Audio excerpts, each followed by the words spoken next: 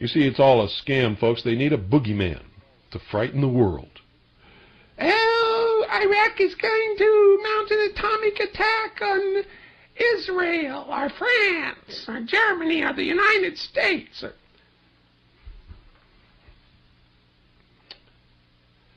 How many of you really believe that?